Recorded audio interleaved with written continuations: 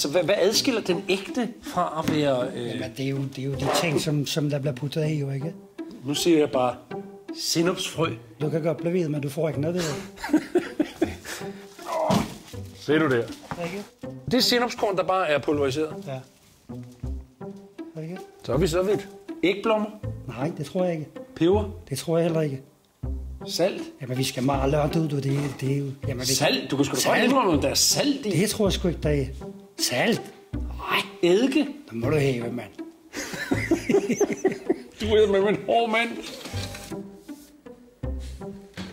Ej, du, jeg hive, du kan ikke hive det ud af mig. Det, nej, det er alle nede mig. Om du så udsat mig for tortur, det, jeg ville, så ville jeg snyde dig og sige, at det var, det var bare blendet, saltet sild og krøllebølle i den. Jeg ville snyde dig. Det Har I, lavet, har I lavet andre ting? Har I forsøgt jer med, med andet end lige øh, øh, sinop? Nej, det er jo en sælgelsfabrik, jo. ikke? Touché. Jamen, sådan er det jo. Jamen, det kan da ikke være så svært.